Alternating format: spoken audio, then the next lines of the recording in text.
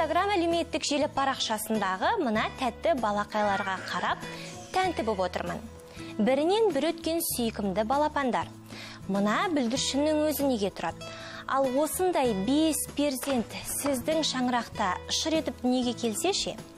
Бақыт деген осы шығар. Ендеше сол бақытқа ие аналар балалармен біздің студияда. Армысыз көрермен арна қосулы болсын. Бүгін қыз жібек хабарында балалы үйге бақ қонады деген атаумен әңгіме дүкен құрылмақ.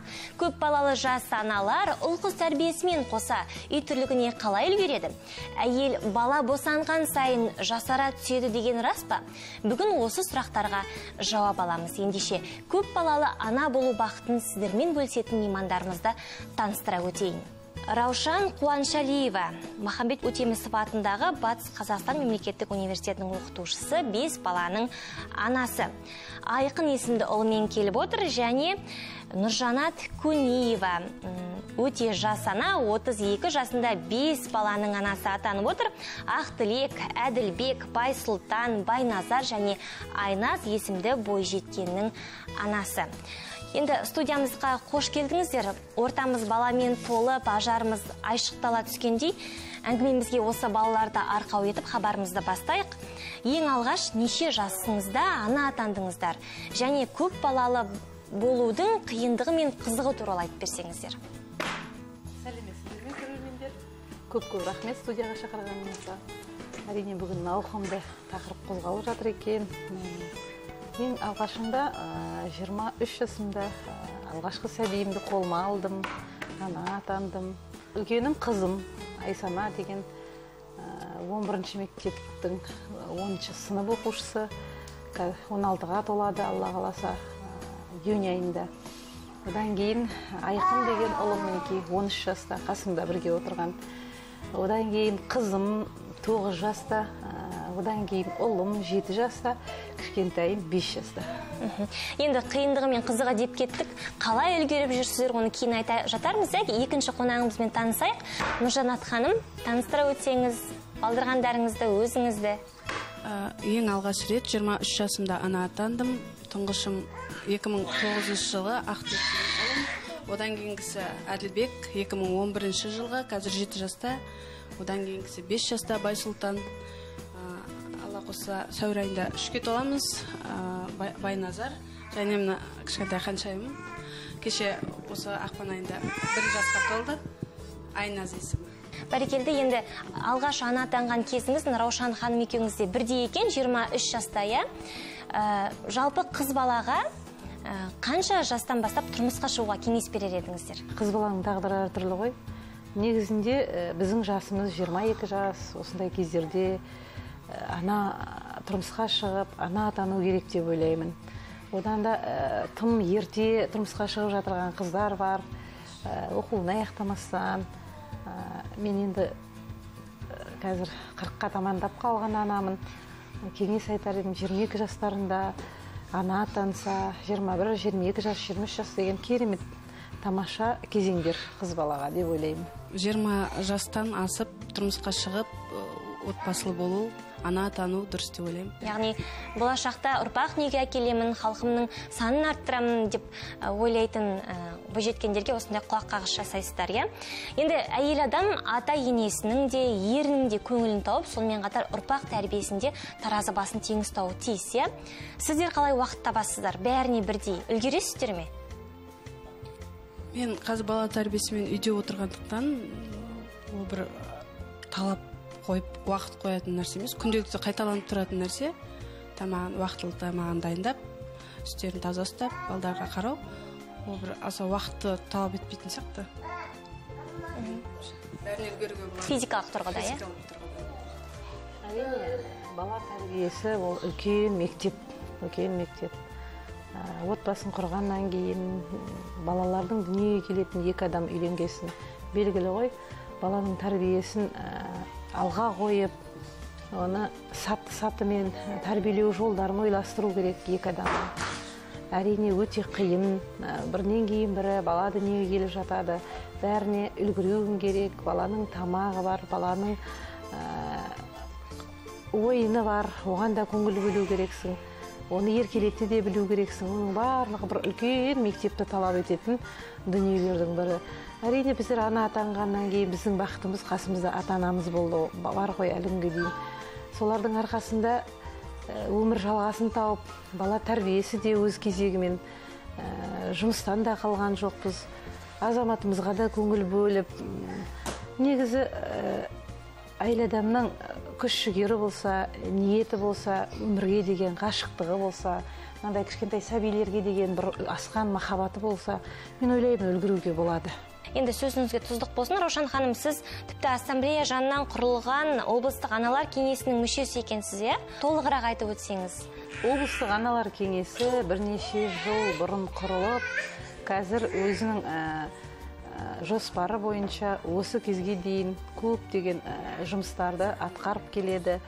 Аналар кеңесінің төрағасы педагогика ғылымдарының докторы профессор үлкен ана құрметті ана құрманалина шалқыма қайроллақызы оның мүшелігінде көптеген ел, ел үшін қызмет еткен елдің тағдырын шешкен халыққа қызмет еткен адамдар әрине аналар көп оның ішінде роза лукьянова деген сияқты. Тағы басқа көптеген аналарымыз бар. Тек қана аналар кеңесі жиналып кеңес қана өткізіп кезекті жиналыстарында отырыс жасамайды ана мен баланың тәрбиесі қыздың тәрбиесі отбасындағы жағдайлар түрлі жағдайлар. Ерте тұрмысқа шығып ерте ажырасып кетіп жатырған осындай өзекті мәселелердің шешімін табуға жолдар іздеп көптеген қиындықтарды шешуге жағдай жасап көптеген отбасыларға көмек көрсетіп әлеуметтік көмек көрсету істерін қолға алып осы кезге дейін керемет жұмыстарды атқарып келеді. Яғни тәжірибе алмасасыздар иә? Білгендеріңізбен бөлісесіздер.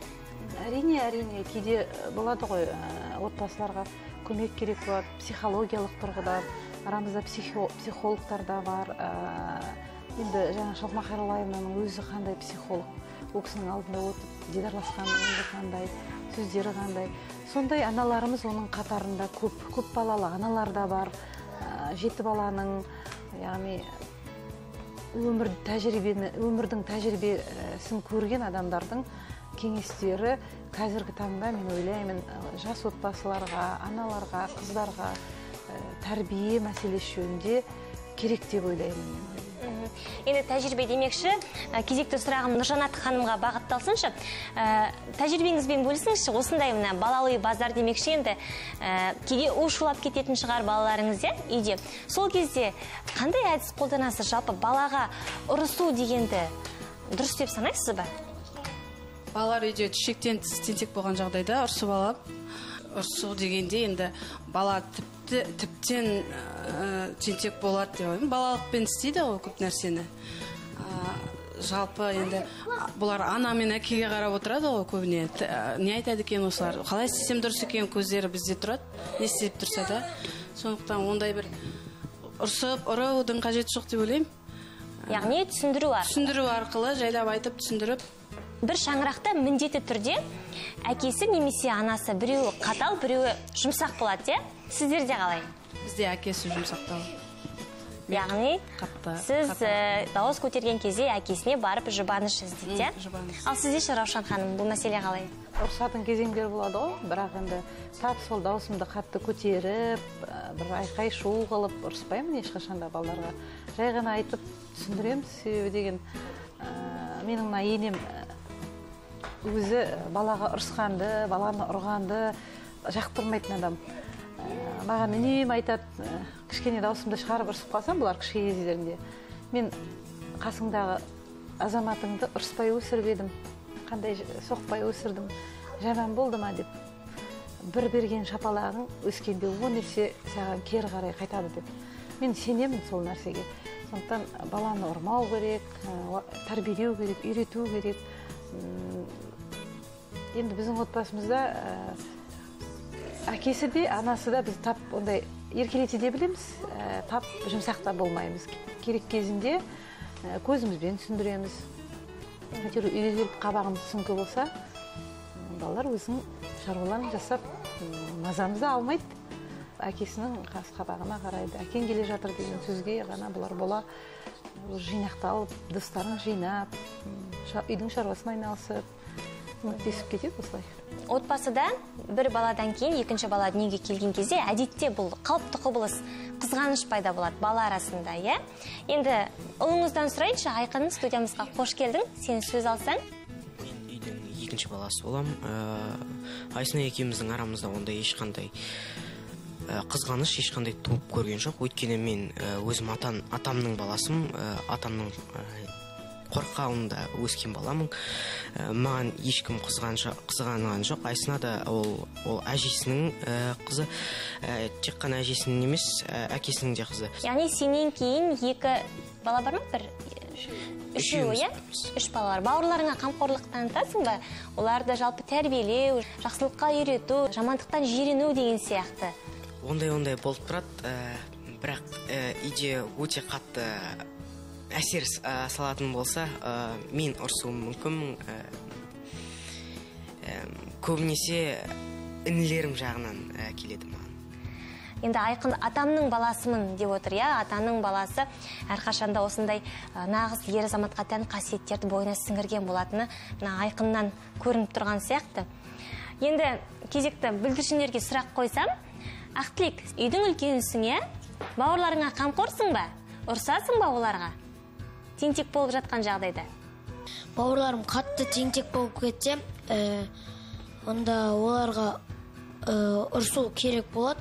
Ә, әлде ә, жай айтқаннан ә, негізі тыңдамай айтқанда кейбір кейбір үйдің үлкендері кішілерді ұрады. Негізі оларды алдап жай сөзбен алдап түсіндіріп жұмысты істету керек деп ойлаймын. Бәрекелді. Енді мына ә, кішкентай қарындасыңа өзіңнің мейірімің ерекше шығар иә? Бағысасың ба? Анаңа көмектесесің бе? Ә, көбінесе анамның қолы тимей жатады кейде ә, тамақ пісіреді ә, ыдыс жуады. Солардың бәріне көмектес ә, мен. Айна ә, қарындасым айназды бағып а, анашыма қол ұшын созамын яғни үй тірлігін кейде бөлісесіңдер иә? Анаң жұмсаса оңай бара саласың ба? Тіл алғышсың ба? Ә, әрине. Бәрекелді. Баланы жетіге келгенше тыйма. Жетіден он төртке келгенше құлыңша қиына он төрттен кейін құрдасыңдай сырлас дейді иә? Бала тәрбиелеуде принциптеріңіз бар ма белгілі бір? Әрине. Жаңағы өзіңіздің айтқан принциптің бәрін ұстанамыз отбасымызбен жеті жасқа дейін еркелетеміз бала болған соң оның ә, жылайды күледі арасында шулап та алады оның барлығына отбасы мүшелері сабырлықпен қарау керек. Себебі бала ол сол жағдайда сол күйінде үнемі қала бермейді. Ол да өседі ер жетеді ертең. Ә, бала күндегі мінездерінің барлығы қалады. Сондықтан ә, жеті жасқа дейін қатты еркелетемін балаларымды еркелеттім. Одан кейін шаруаға араластырдым. Негізгі мына м, педагогика ұғымында да айтады ғой еңбек тәрбиесі деген бірінші бір тарау бар ғой үлкен баланы бірінші еңбекке тәрбиелеу керек деген. Сол қағидалардың барлығын ұстап жеті жастан он үш жасқа дейін үйдің шаруасына араластырып барлығын үйреттім. Яғни киімдерін бүктеп м, сөрелеріне салуды үнемі кітап қораптарын жинауды өздерінің киімдерін іліп орынды орнына қоюды. Міне осыдан бастап тәрбие. Еңбек тәрбиесі. қазіргі таңда баланы дамытудың түрлі тәсілдері бар иә? Заман дамып техника қарыштап келе жатыр дегендей. Нұржанат ханымға қарағанда раушан ханымның балдары ересектеу болып қалған екен. Балалардың дарынын қалай байқайсыз өнерін қалай шыңдайсыз? Өнер адам болғандықтан өнерлі жастармен жұмыс жасап жүрген оқытушы болғандықтан әрине екеуміз де отбасымызда өнерлі адамдармыз екеуміз де ән айтамыз екеуміз де вокалдан сабақ береміз бір университетте жұмыс жасаймыз балаларымыздың өнерден алыс болуы мүмкін емес. Сондықтан біздің балаларымыздың барлығы әнге аспапқа өздері меңгеріп өздері үйреніп қызығушылықтарын үйде дарытып интернет арқылы қазір мына аспапты меңгеру сабақтары бар ғой интернет желісінде. Содан көптеген дәрістерді алады. Бірақ онымен тек қана біз өнер адамымыз деп баланың енді біздің дегеніміздей біздердей боласыңдар деп айта алмаймыз ғой. Ә, үлкен қызым ә, оқу сәкен оқу қадыр оқуларының жүлдегерлері балам да ә, ауыр атлетика ә, армбрейсинг деген сияқты спорт түрлеріне қызығушылық танытады. Қызым ә, волейбол ойна үлкен қызым жаңағы волейбол ойнағанды жақсы көреді өзінің хоббиі. Ә, ағылшын тілінің курстарына барады. Кіші қызым екі қыз ғой енді кіші қызым шорт трек деген мұздың спорт түрі бар ғой мұздағы. Сонымен айналысып жүр қазір. Қазіргі таңда бірнеше уже медальдары бар. Ә, болашақта ойлаймын үлкен азиада чемпионы болады деп. Одан кейінгі төртінші баламның логикалық ә, бір сондай өзінің ерекшелігі бар. Ә, логикалық сұрақтармен робототехника деген сияқты сондай.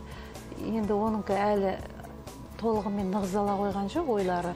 Оны да өзінің сұранысына қарай табиғаттың сұранысына қарай дамытамын деген ойдамыз. Баланың бір қай нәрсеге икемді екені қай нәрсені жақсы көретіндігі уақыт өте белгілі болады иә. уақыт өт- өте белгілі. Мен ата аналарға айтамын кейбір ата аналар ә, бізге өзімізге вокалға сабаққа келеді мүлдем дауысы жоқ балдар да келеді. Мүлдем ә, білмеймін әйтеуір бір өнерде жүрсе екен деп ойлайтын шығар. Енді баланың жақсы болғанын қалайды ғой ата ана болғасын бірақ уақытты күту керек деп ойлаймын. Бала себебі өзіне керегін тауып алады екен. Нұржанат ханым енді ә, сіздің ер азаматтарыңыздың өнерлі екені көрініп тұр иә? Ақтілек ән немесе бір тақпақ айтып бересің бе? Ә, өлең айтам. Жақсы өлең айтай ғой мәди дәуренұлының ә, туысқандар әні туысқандар әні иә? Жақсы тыңдайық. Бауыр десе бүйрегім бұрып тұрады. Көзім көрсе көңілім жылып тұрады. Ей ағайын саны болса сыйласайық ала болса арамыз суыттырады байлықпенен дүние құнықтырады байқамасақ одан көп бүлік шығады қу тірлікке құмартып құл боп кетсек бірге туған бауырды ұмыттырады туысқандар туысқандар алыс кетіп араны суытпаңдар. Туысқандар туысқандар жақын жүріп жақынды ұмытпаңдар. Туысқандар туысқандар жылтыраған жалтанға қызықпаңдар. Жаурағанда жанымды жылытқандар. Бәрекелді. Қол шапалақтайық ағамызға әділбек сенің қандай өнерің бар Мен тақпақ айтамын. тақпақ айта ғой Менің анам ардақты, алтыннан да салмақты. А, жақсы көріп баласын тәрбиелейді анашым. Жақсылыққа шақырып, жамандықтан тияды. Мейіріммен тәрбиелеп, иман нұрын құяды. бәрекелді анасына жыр арнаған азаматтан айналмайсың ба нұржанат ханым енді мына бала тәрбиесіне ата анадан тыс балабақшаның да мектептің де үлесі зор иә? Балаларыңыз мектепке балабақшаға бара ма жалпы? Үлкені ақтілек үшінші сынып әділбек бірінші сынып байсұлтан даярлық тобына барады. Иә үлесі көп мұғалімдердің. Ә, қазір бастауыш сынып болғандықтан өздерінің класс жетекшілері көп ә, қолдау көрсетіп осыларды сүйрелеп мәнерлеп оқу шараларға? шараларға барып ә, не істеп тұрады? Өздері қатысам дегеннен ешқайынан қарсы болмаймын. Шамам келгенше осыларды қатыстырып әр нәрсеге өздерін шыңдауына қо- қолдау көрсетемін өзім үйден. Мұғалімдері бізге ай- айтып жатса жаңағыдай мектептен осындай шара болады осылай қатысу керек осылай болу керек десе мен әр, әрдайым мұғалімді тыңдап со- соған қатыстырамын. Мынадай бір пікір бар. Ер бала ұлы яғни анасына жақын болады қыз бала әкесіне жақын болады. Осы туралы не айтасыз? Иә бізде үйде ақтілек мені түсініп менің жағдайыма кіріп кәдімгідей үлкен ә, адамша қабылдайды көп нәрсені. Иә қызымыз әлі кішкентай болғандықтан тек жаңа ақылдар шығып жатқандықтан оны әзір біліп жатқан жоқпыз. Дегенмен ұл бала әрине ә, ананың қабағы түйіліп тұрса да көңілі ә, сенің қабағыңа қарап сөйлейді көбіне. көбіне ақтілек менен адилбек мага көп кол қолғабыс көрсөтөт. Былай былай шыққанның өзінде осыларды багып калат үйдө. Енді төрт ұлдан кейін мына бойжеткен қыздың ерке болып ә, сондай сылқым болып өсері сөзсіз иә?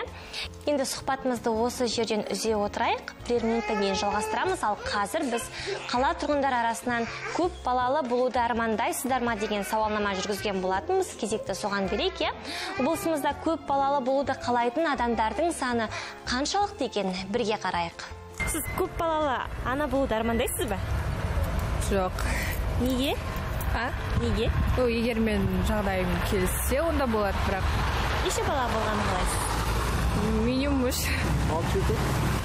Жоқ, я, я не буду. Ну, наверное, максимум троих. өзімнің анам сияқты көп бала болғым келеді. Ә, көптен енді бесеу төртеу бесеу. Үшеуден көп. төрттен көп па? Өзіміз көппіз. Өзіміз төртеуміз үйде. Хабарымызды жалғастырамыз. Студиямызда батыр аналар жас аналар жас көп балалы аналар отыр. Тәп тәтті балақайлармен енді ә, әйел баланы дүниеге әкелген сайын жасара түседі дейді. Осы қаншалықты рас? Келісесіздер ме? Әрине келісеміз. Бізге қарап көп бала туды деп айтуға болады ма? Сіздің сұрағыңыздың жауабы осы. Көбіне әйел адамдардың өзіне байланысты ғой.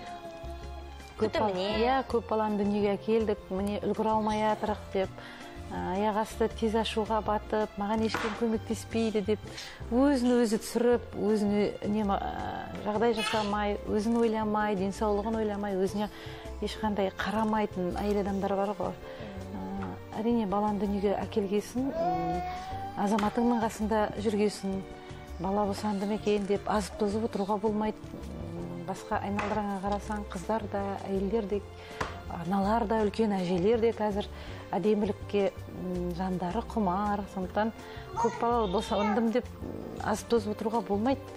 Ә, жинақталу керек күтіну керек бетіңді күту керек Ә, үнемі әдемі болып жүру керек балаларға қарау керек. Мен осындай кеңес берер едім аналарға. Менің өзімнің үлкен әжеміз ғой енді жолдасымның әжесі үлкен енем айтып отырады. Осы босанған сайын әйел адамның қаны тазарып өмірге деген құлшынысы артып әйел адам өз өзін бойын түзеп мына бала жа- жас баланы өсірген сайын жасарып гүлдене түседі деп айтып отырады. Аса бір күтімділік жасамасам да өзіме қарауға уақыт табамын. Уақыт тапшы болған жағдайда да бір он минуттық уақыт бөлсе де адам өз өзін жақсы көру керек шығар біріншіден. Әйел адам өз өзін ер үшін балдар үшін әдемі болып жүру үшін өзіне уақыт бөлу керек деп ойлаймын. Енді осы тұста ер азаматтың да қолдауы өте маңызды иә? Сіз қалай ойлайсыз? Қолдайды қандай жағдайда болса да ақылдасып шешеміз не нәрсені болса да иә ә, енді қиындық ә, дені сау адамға материалдық жағынан болмаса жаңа айтып өткендей физикалық тұрғыдан бәріне үлгеріп бәріне ә, қол жеткізуге болады. Атасының баласы әжесінің баласы немесе тұңғыш баланы осы ата бауырына беру деген ұғым бар иә қазақта. Осы туралы не ойлайсыздар? Енді ол әуелден келе жатқан ырымдардың бірі ғой. Ол кезде енді салт э, пайда болған кезде келіндер мен аталары енелері бірге тұрды ғой. Қазіргі кезеңде ғой бөлініп, кете, бөлініп кететіні. Сондықтан жастар мен үлкен кісілер бөлек тұратын болса әрине балалар ата ананың қасында өсу керек деп ойлаймын.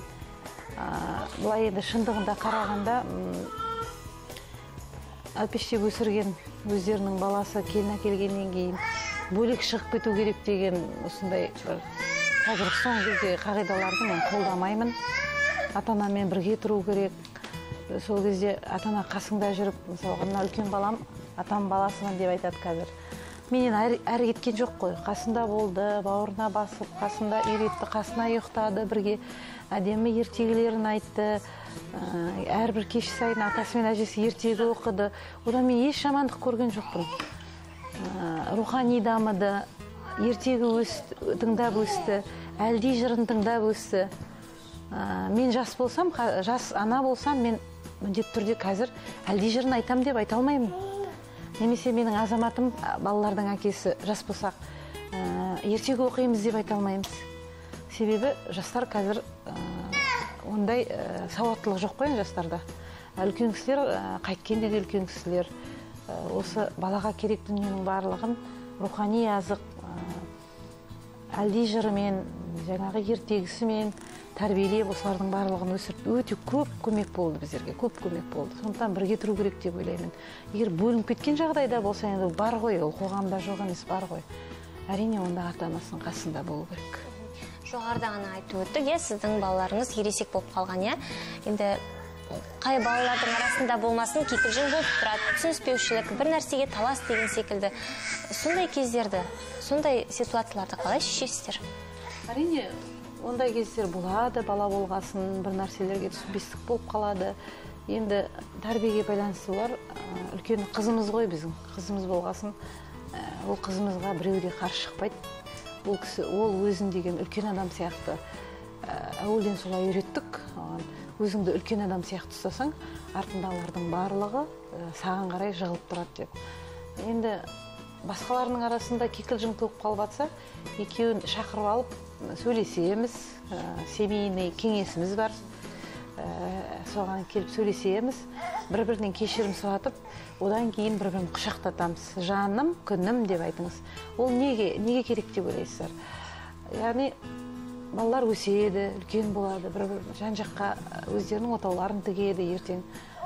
Бауырмалық ұғым мәңгілік олардың жүректерінің түбінде орналассын деген оймен олар кішкене кикілжіңдесіп бір біріне ренжісіп қалғаннан кейін кешірім сұратып міндетті түрде бір бірін құшақтатып жаным күнім сенсіз өмір сүре алмаймын деген сөздерді айтқызамыз міндетті түрде айтқызамыз.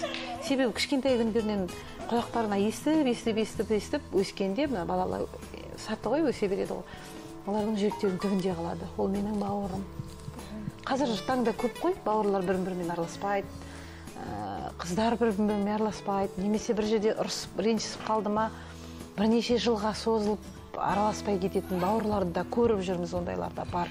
Қоғамда жоқ емес жоқ деп айтуға болмайды. Енді қазір өзекті тақырыпқа айналды иә? Өзекті тақырып. Сондықтан мен қорқып алдын ала әрекет жасап жатырған жағдайым бұлардан кешірім сұратып бір бірін құшақтатып бауыр екендерін мәңгілік жүректерінің түбінде сақтаса екен деген осындай тәрбиемен алып келе жатырмын. Енді қазіргі заманда шыны керек жастар көп балалы болудан қашады иә? Нұржанат ханым өзі отыз екі жасында бес баланың анасы болып отыр иә? Кейінгі артыңыздан еріп келе жатқан сіңлілеріңізге қандай кеңес айтар едіңіз? Еріп келе жатырған сіңлілеріме әрине біріншіден айтып өттім ғой мана материалдық жағдай жетіп отырса ер азаматы қолдап ата анасы қолдап отырса дені сау баланы дүниеге неге әкелмеске? Оның санында емес баланың сапасында емес ә, санасында болсын. Саны көп болған сайын оған мен ойлаймын баланың саны көбейген сайын ә, тәрбие де бөлек болады. Көп еркелік жоқ өмірге деген ұғымы көз қарасы басқаша болады мүлдем рошан ханым сіз осы мәселе тұрғысында не ойлайсыз? Енді әрбір қыз бала тұрмысқа шыққанда көп балалы боламын деп ойламайды ғой. Алланың берген сыйы көп балалы атандық мінекей.